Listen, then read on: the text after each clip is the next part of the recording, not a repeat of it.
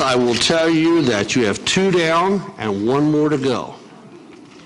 So welcome everyone to our third service of the morning. Um, I've noticed that many of the ladies are eating a snack in between.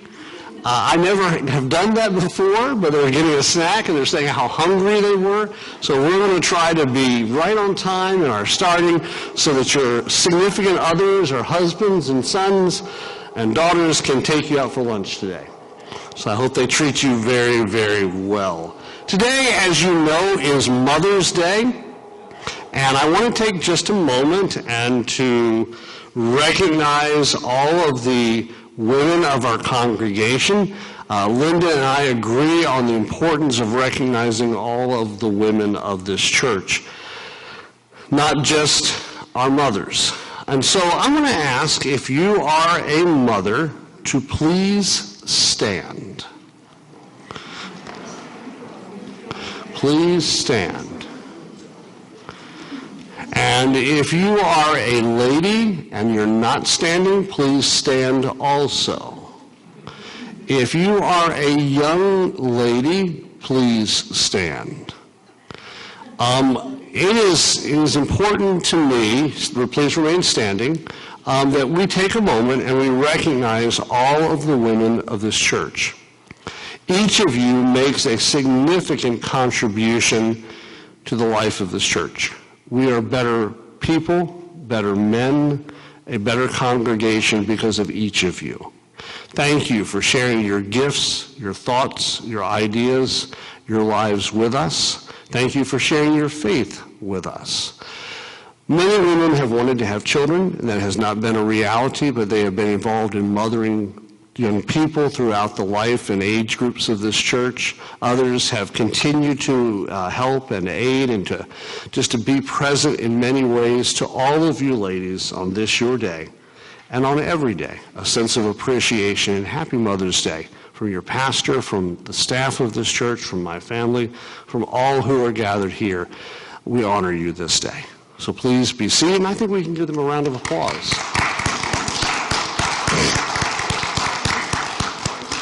They have done a phenomenal job uh, throughout the first two services in the presentations that they have made this morning. Um, someone said to me I had to hurry down to the front because I was supposed to go to work, and then they said, oh, yes, right, you're not working today, and all kinds of stuff.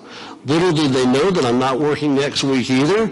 Um, Bob Harris is our speaker. And please remember the box that's out behind Judy's uh, head and friends on the other side of the wall there. Um, it's a box to honor Kay and Bob as we thank them for their service with us next Sunday morning. They're not going anywhere. Um, Bob has said he would continue to help as needed. Uh, the Reverend George Patterson will be coming. Um, you know, Bob and Kay are going to be attending church, and they come to the 8 o'clock service and doing those things. But um, we, we just give thanks for them. Also, I want to say a word of welcome to the Pine Tones. So part of them are here today. Um, and I had heard a lot about them, but because of COVID and all the other stuff, I had never heard them. And I got to hear them at Dave's service. Where's Darlene? There's Darlene at her at Dave's service, and you guys were awesome. You did a tremendous job. Thank you for being here, and we welcome you in Christ's name. I do want to share with you just a few announcements. Um, number one is that um, many of you will remember the Colburn family. And uh, it is with sadness that I report to you that Sue Colburn passed away this week. Um, I did not know her, but she was described to me, and this has been what everyone has said, as a delightful and wonderful woman. Someone, when you needed to get something done in the life of the church, you asked Sue. And she probably already had it done before you asked. Uh, the services for Sue, if they are held in, in the way that we kind of think we're planning right now, will be sometime in July, about July 11th. That's when her family from Pennsylvania can be here with us. So please do remember that family. Uh, please remember the family of the Reverend David Herr. David is a colleague of mine. He was actively serving our congregation and David passed away on Thursday of this past week. Um, that means I'm going to need to move the date for the book club because his widow has asked me to please attend his service. Uh, so more about when the book club will be rescheduled and um, do remember that family also. Uh, this week we have two funeral services, one on Thursday here at the church for a member of the community and one on Saturday for the Campbell family. Uh, we had postponed the Campbell family's service, Betty's service, two or three times because she has family in Scotland and Canada. We were trying to find a time to get everyone together. We could not and still have not, so we're actually going to be Zooming uh, the service to Scotland and to Canada. Uh, and part of the family will be here that day. So please remember her husband Kenneth and all of their family in your prayers. I also want to mention to you that on this morning, uh, I, if I doze off, here's the reason. On Friday evening, Zach and I had a father and son outing. We went to the Orioles game. And you might know, uh, uh, Joe, we were talking about baseball. On Friday evening, there was a rain delay of two hours. The 7 o'clock game started at 9 o'clock. And I got home at 3.36 in the morning. Let me just say to you that at 58 years of age, 336 does not sound nearly as attractive as it used to. And there was nothing going on in Ocean Pines at 3.36 in the morning except at John and Marion's house where there was a big party. Um, but I do want you to know I will not doze off, but I'm still sort of recovering from being out that late. It was quite a night. And I got some wisdom this morning when I came into church. Um, whenever I need wisdom, I just go to Mr. Harrington, and he gives me all the wisdom I need. It'd be, it'd be you. Um, and, and so I want you to stand up for just a minute and share the wisdom that you shared with me. Now you can take your mask down and, and share how we should end the sermon and the services here in your thinking.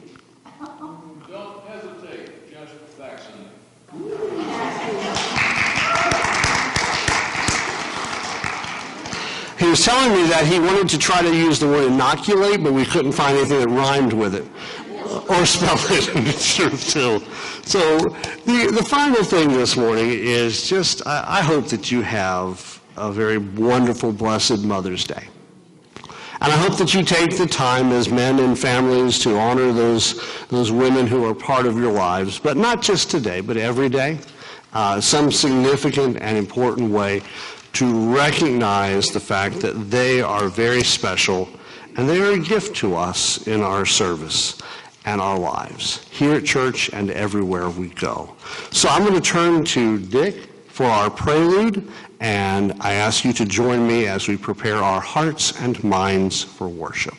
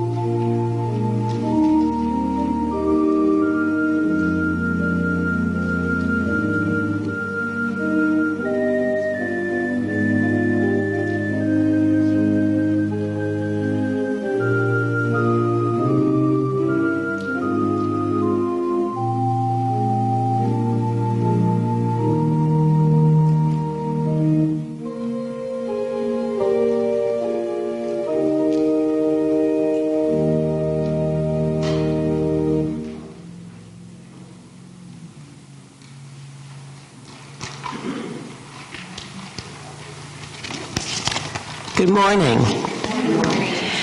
My name is Linda Baker, and I am currently the president of the United Methodist Women, and welcome to this Sunday where we honor mothers.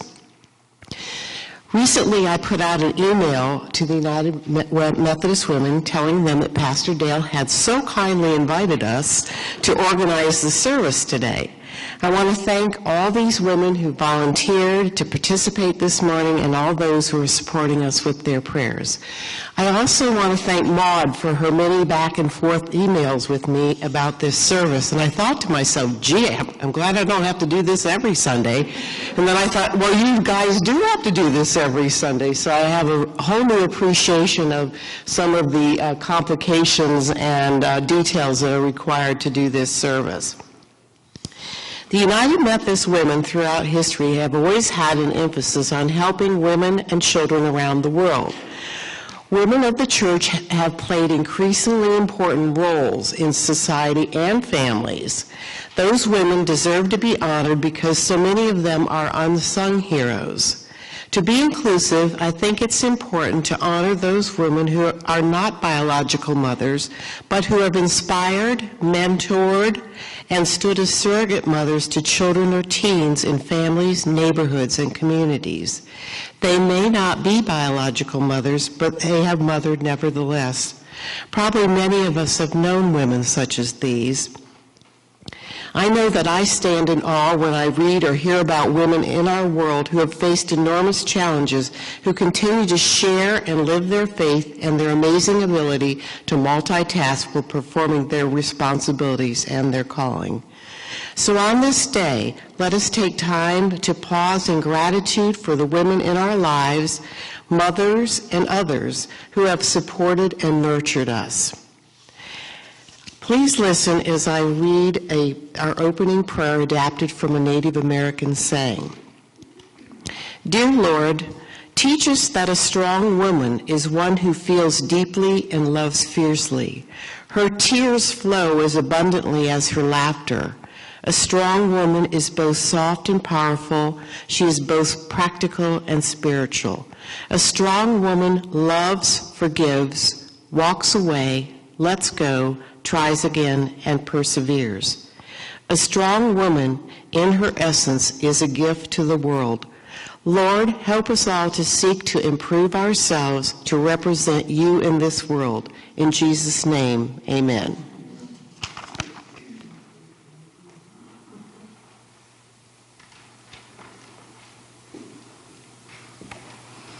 Good morning. My name is Gail Philippi. Please stand and we will read together and remain standing for the hymn Amazing Grace following the call to worship. And Jesus said, Come. To all mothers and children, Jesus said, Come. To the motherless and the childless, he said, Come. To all who belong mothered, Jesus said, Come. Come unto me, all ye who labor and are heavy laden, and I will give you rest. Take my yoke upon you and learn from me, for I am gentle and humble of heart, and you will find rest in your souls. Please be seated. And I, I do want to tell you that we invite you this morning to sing. Uh, that's the newest thing that's out, but we invite you to sing with your mask on. Um, that way, if you're like me and you sing poorly, no one will hear you. Um, but we do invite you to sing, and um, as the days progress, we're going to continue to be safe, but we do invite you to be involved in the music of this church, which is a great blessing to all of us.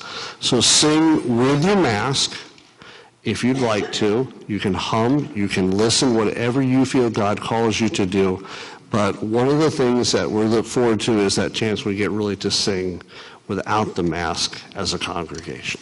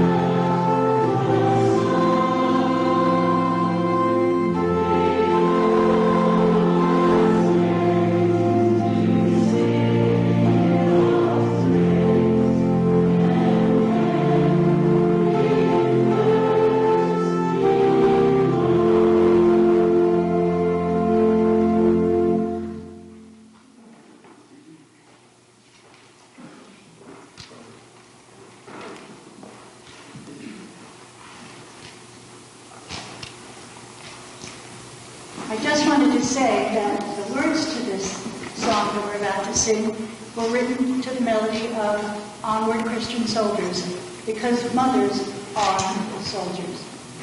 So happy days to all your moms out there and to all our moms who've gone before us.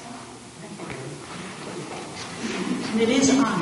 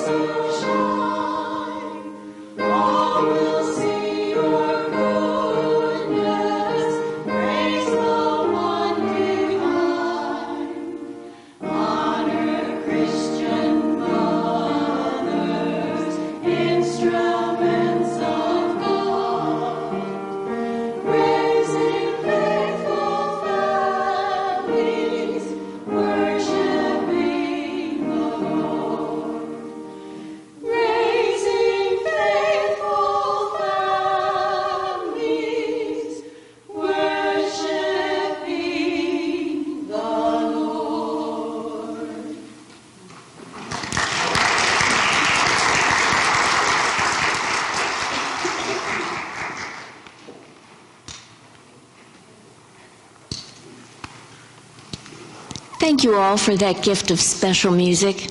It was indeed special. Thank you. Good morning. My name is Lynn Bowen. Please hear now the texts for today, which are from the book of Proverbs, chapter 31, verses 25 to 27, 17 and 30 to 31. She is clothed with strength and dignity and she laughs without fear of the future. When she speaks, her words are wise, and she carefully watches everything in her household and suffers nothing from labor, laziness, excuse me. She is energetic and strong, a hard worker. Charm is deceptive, and beauty does not last. But a woman who fears the Lord will be greatly praised. Reward her for all she has done. Let her deeds publicly declare her praise. This is the word of God for the people of God. Please join me in praying our Lord's Prayer. Our Father, who art in heaven, hallowed be thy name. Thy kingdom come, thy will be done, on earth as it is in heaven. Give us this day our daily bread, and forgive us our trespasses, as we forgive those who trespass against us. Lead us not into temptation, but deliver us from evil. For thine is the kingdom, the power, and the glory forever. Amen.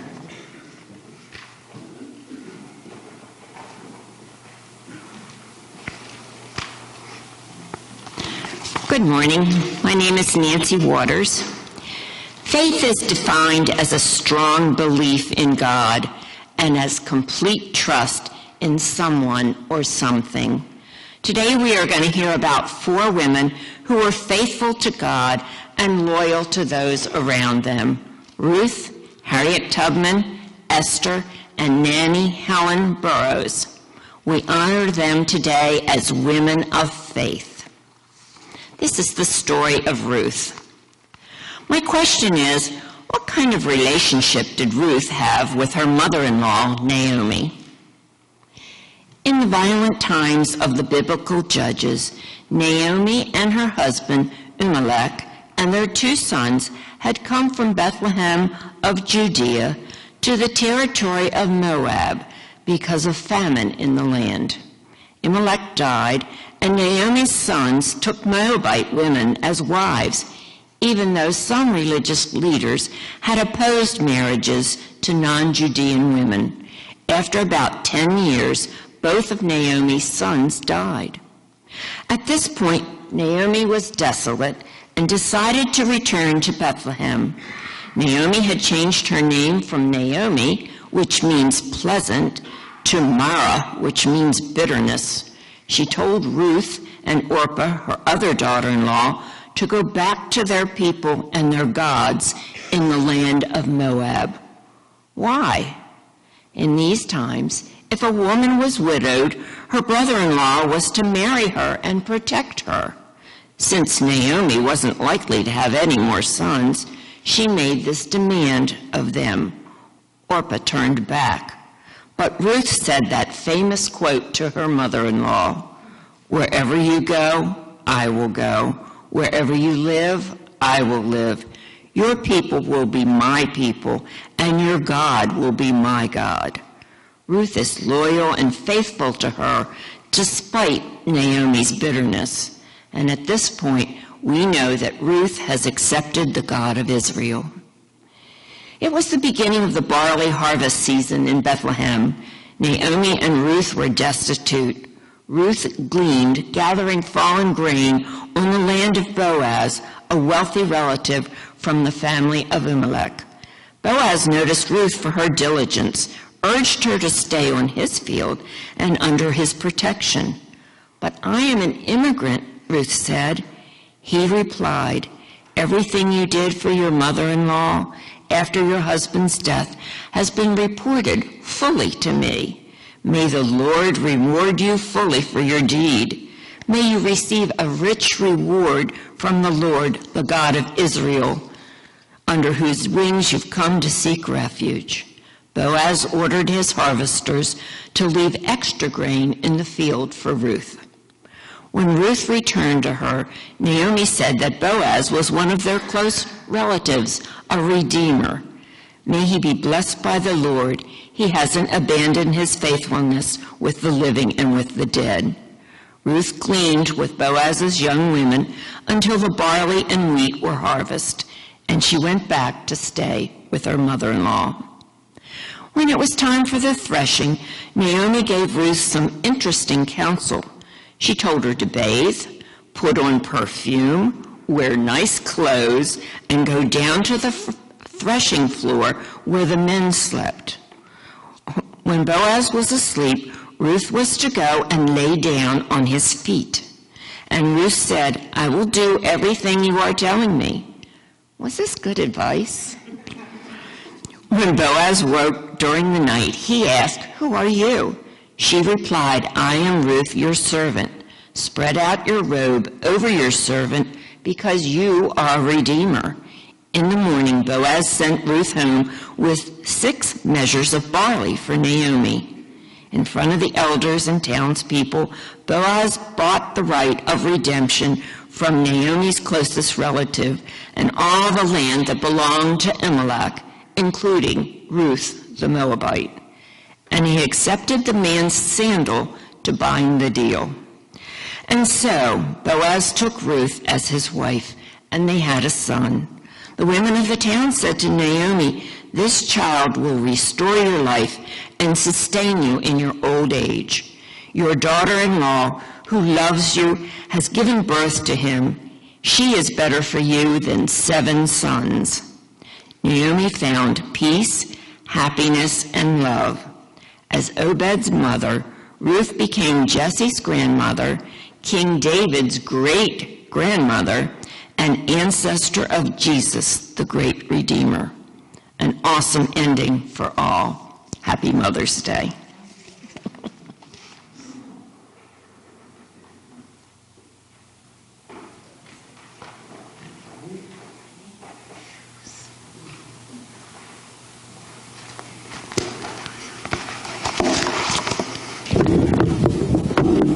Oh what did I do?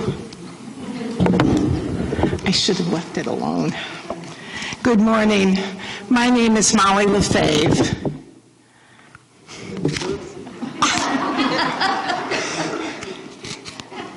I should have just left it alone, huh? Thank you. In June of 1944, a new U- U.S. ship was commissioned. The name of that ship was the SS Harriet Tubman.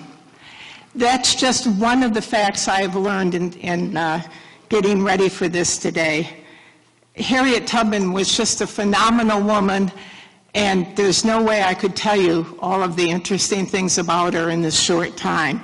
So I urge you to go to the visitor, visitor center near Cambridge and maybe even take the self uh, instructed driving tour that covers parts of Maryland and Delaware. And I, I think there's something like 30 stops on that route, uh, all about Harriet Tubman. She was born in 1821 or 1822, or maybe 1825 or 6.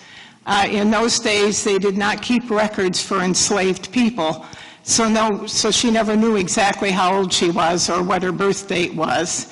I don't know about you, but I think uh, birthdays are very special, and it makes me sad to think that there have been so many people who didn't have the advantage of knowing exactly when their birth date was. She was born in Dorchester County on the Anthony Thomas Plantation. Uh, her given name was Araminta Ross, and she was called Minty for short. When she was 14 or 15, uh, she was in a general store, and at that time, a man had tried to escape. The store owner picked up a, a two-pound weight from his counter and tried to throw it at the uh, man who was trying to escape. Uh, Harriet blocked the way at, at, the door, and so she was hit in the head by mistake. Uh, this changed, of course, her whole life. After that, whether it was uh, narcolepsy or whatever it was, she had a, a sickness that she would fall asleep just at any time, and that sleep might last up to a half hour. Uh, She said that when this happened to her, she felt that she had visions of God and that He was instructing her. Um, So it it changed her whole life. In 1844, she married John Tubman, and that's when she changed her name to Harriet Tubman. In 1849, she had seen two of her sisters being sold away, and she was afraid that would happen to her. So she decided to escape and go north on the Underground Railway. Uh, She made 13 trips back after that to help save her family and friends. Uh, Her nickname at that time, or she was known as Moses, because she was freeing all these people. She liked to travel at night, and she preferred traveling in the wintertime or taking these people in the wintertime because there were more hours of darkness, and that's when they actually traveled. During the Civil War, she volunteered and worked with the Union forces in Hilton Head, South Carolina. At that time, she was a cook, a nurse, a laundress, a teacher, a scout, and a spy. She was the first woman ever to lead an armed raid, and when, when she did this, she freed over 700 slaves. In 1869, she married Nelson Davis, um, and they had a brick-making uh, business together. In 1890, she worked with Susan B. Anthony and other suffragettes, I'm not going to say that right, am I? Um, In, in hopes of gaining the vote for women. Another interesting thing about her, I think, was that in the late 1890s, she said she was in Boston. She went into a hospital there. She asked this gentleman if he was a doctor, and he said yes. So she asked him to operate on her to relieve the headache she was having. He did so, but the thing that's especially interesting about that is that she bit on a bullet rather than get anesthesia because she wanted to follow what she had seen the soldiers do. I wish I, I wish we had the rest of the day. I could tell you some other things. I just urge you to find out about her. She truly was a phenomenal woman. Uh, in closing, I'd like to read from the book Harriet Tubman, The Road to Freedom. Tubman cherished her freedom and her citizenship more than most, certainly more than those who had never been in bondage. Besides a commitment to racial justice and a passion for liberty, Tubman preached the power of persistence. Throughout her Underground Rail- Railroad career, she offered the following refrain If you are tired, keep going. If you are scared, keep going. If you are hungry, keep going. If you want to taste freedom, keep going. This motto has been handed down to the present generation as part of her enduring legacy. Born into an age of darkness, an age when America was still in thrall to slavery, Harriet Tubman freed herself and was reborn. She renamed her liberated self and hoped to lead others to Canaan as well. This was not because she saw herself as a hero, but because she believed she was doing the Lord's bidding. Not unlike Joan of Arc, with whom she was frequently compared, Harriet Tubman viewed herself as an instrument of God. However, Tubman did not manifest any messianic qualities, nor did she particularly see herself as chosen. She did not trust in fate as much as in the power of prayer and in the individual's ability to seize her own destiny. Tubman embraced a much more universalist view. Each and every person has the light of God within. And just like the song, she was going to let hers shine.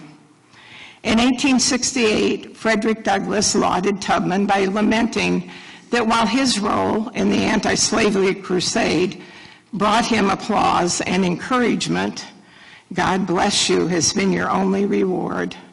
The midnight sky and the silent stars have been the witnesses of your devotion to freedom and your heroism.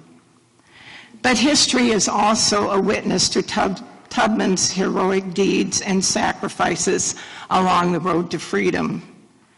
And although historians may have too long ignored it, her past remains before us, all around us, and urging us, in her own words, keep going.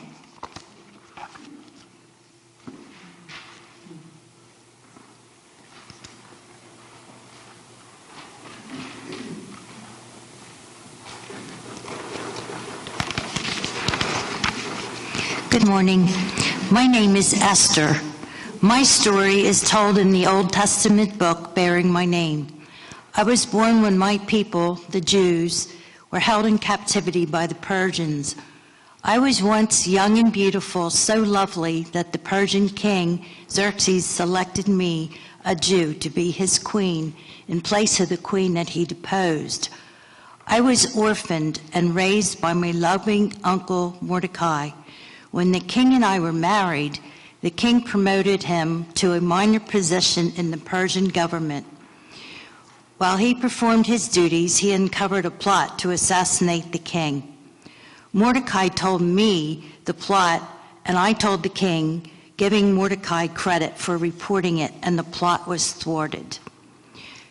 The king's highest official, a wicked man named Haman, hated all the Jews, especially Mordecai, and devised a plan to kill every Jew in the kingdom.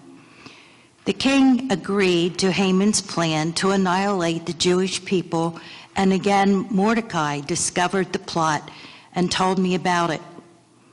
He told me that I shouldn't think I would escape just because I was the queen, and suggested that maybe I was put into my position by God to save my people.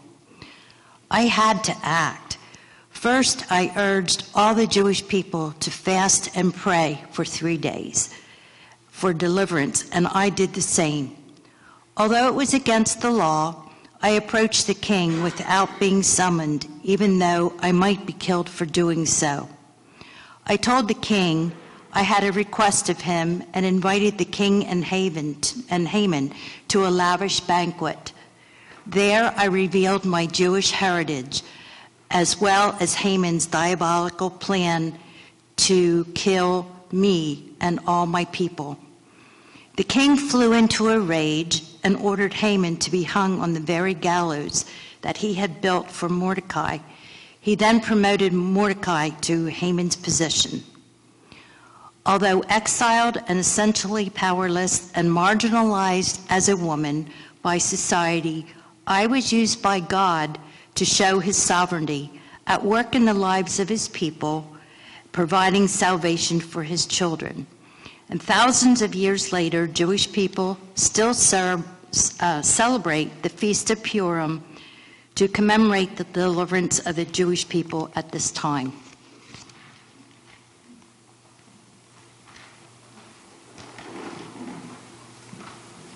Please remain seated and let us sing together For the Beauty of the Earth, hymn 92.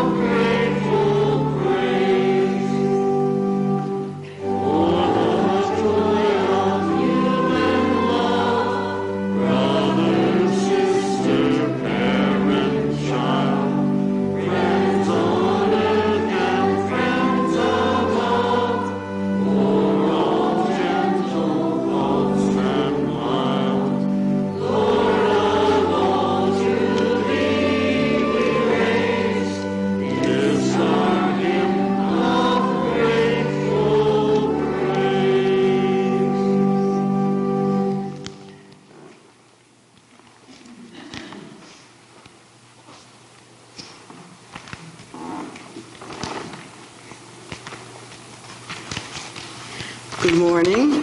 My name is Mary Boyd.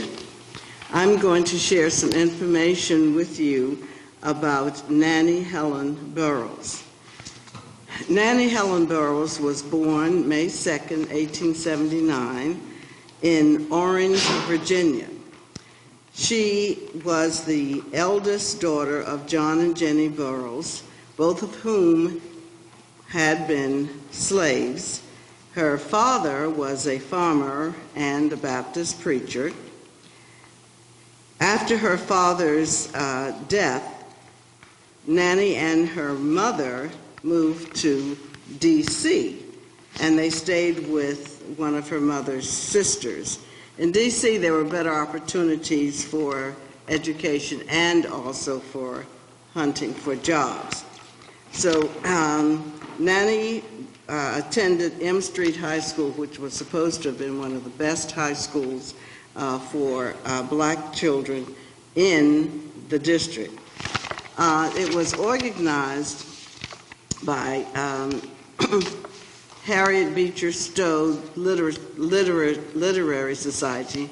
She studied business and domestic science, and she wanted, after she graduated from the M Street High School with honors in 1896, she sought uh, work as a domestic science teacher at that in the District of Columbia Public Schools. But she was unable to get that position uh, because, for some reason, they decided that her skin was too dark and she was the wrong class. Uh, they preferred lighter complexioned black teachers.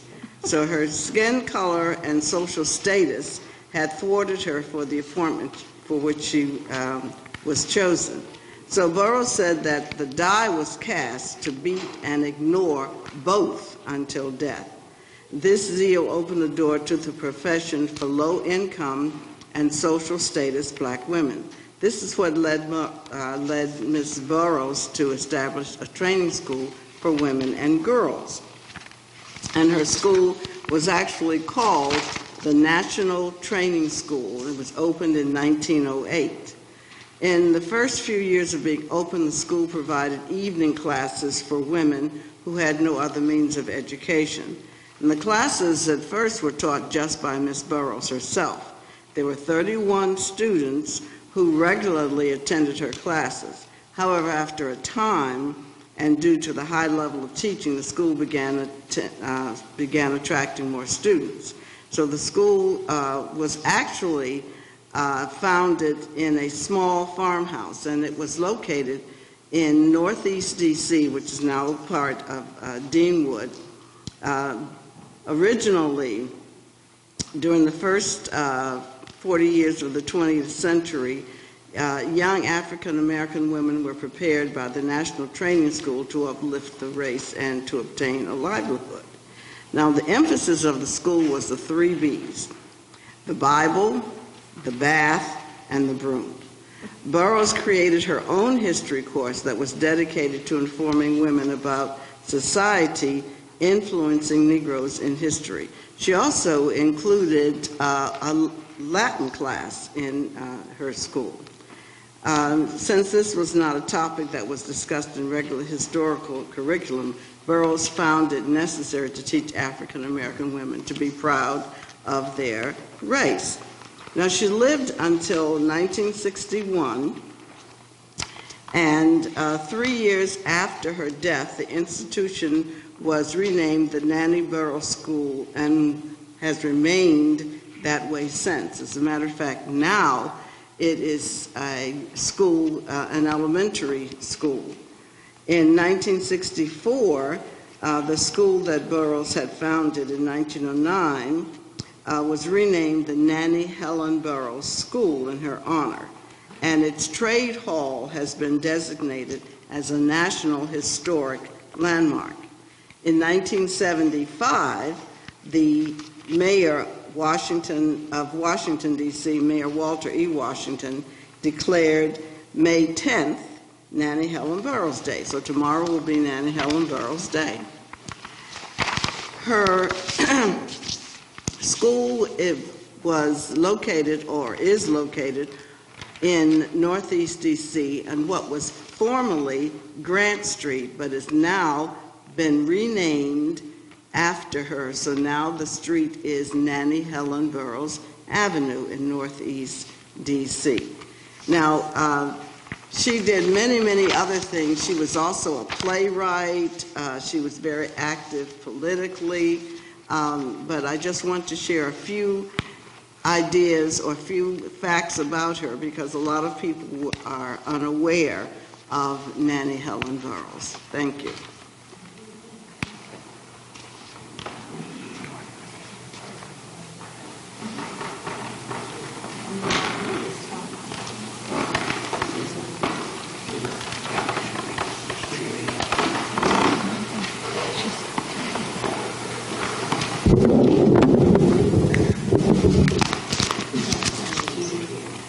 Judy? Yes, ma'am. We are awaiting your arrival.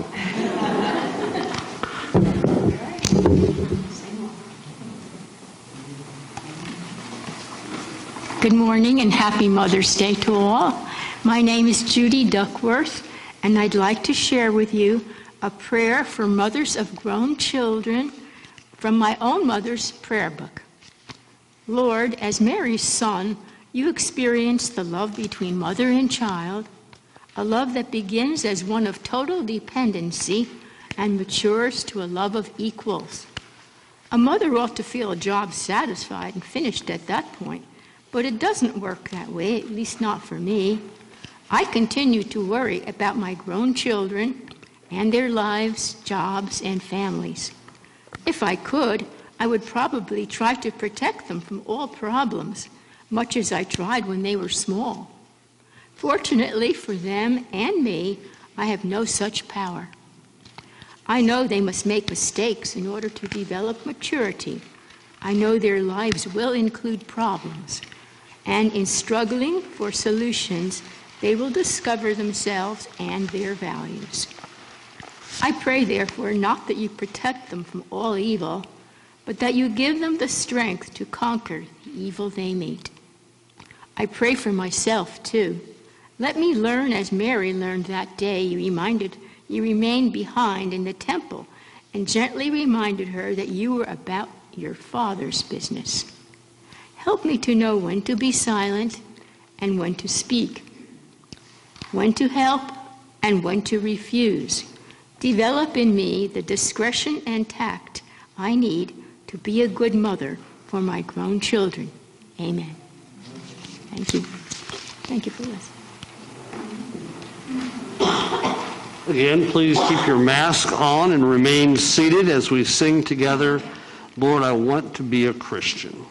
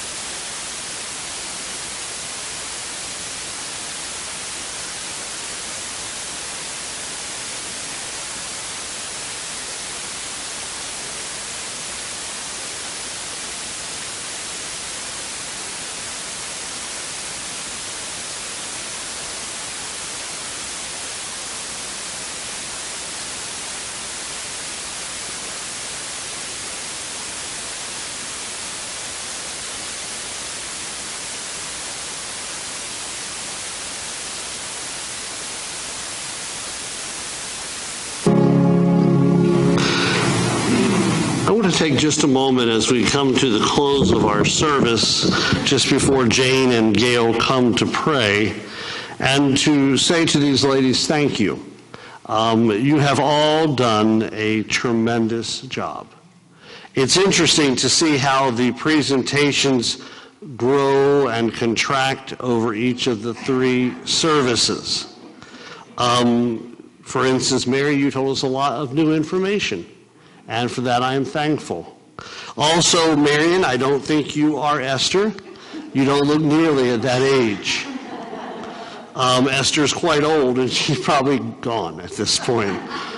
and things. So I also want to say to, uh, to Molly that I am so thankful for you presenting Harriet Tubman.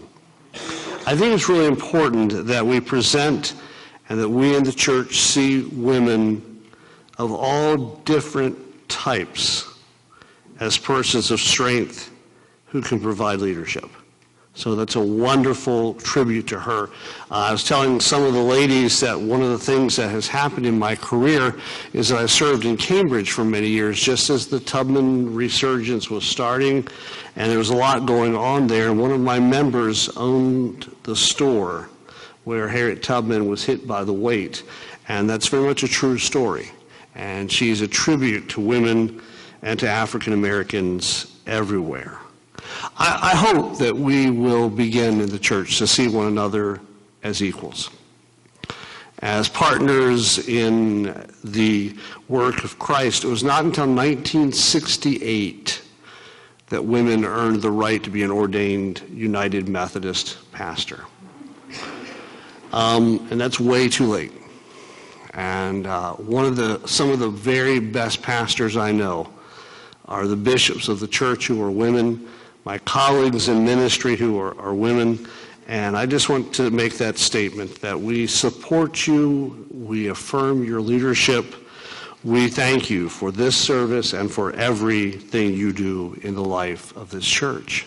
One of the things I've done in other places, I was leaning over and telling Nancy, uh, because I can't not talk during church, it's just an occupational hazard, um, is that I often would call the men down on Mother's Day to the front and we would sing to the ladies who remained seated a, a wonderful old hymn of the church. And on Father's Day, I would invite the ladies to come down to the church, front of the church, and they would sing to the men a wonderful old favorite of the church. We're not going to do that today because so often when we did that, the men grumbled.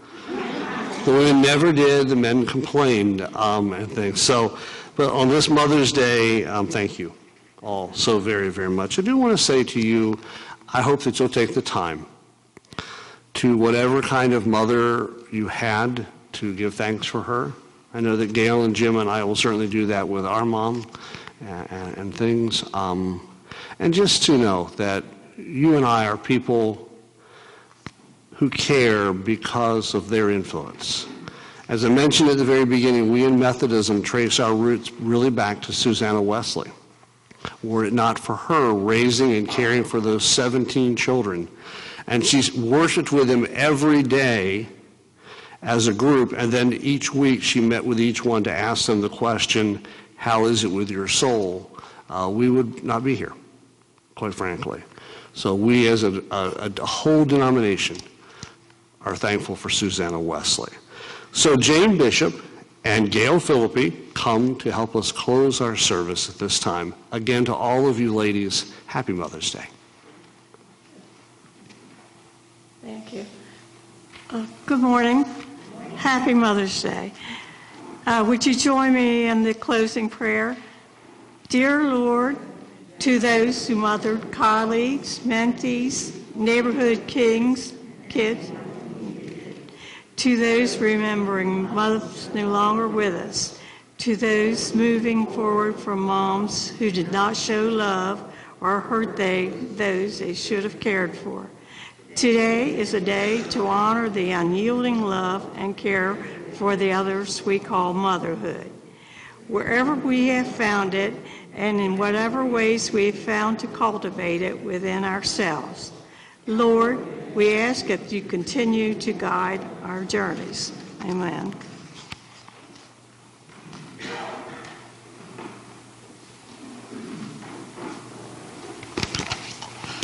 Please join me in prayer. Again and again, God welcomes us home as a mother welcomes her children. Again and again, God celebrates us, God's children, and delights in watching and helping us grow. Come now into the warmth of love. You are forgiven. You are forgiven. You are loved, precious child of your mothering God. Amen.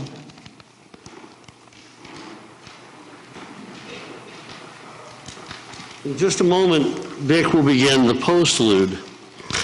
In case that you are a guest here, let me help you know uh, so you feel a little more comfortable in how we exit the building.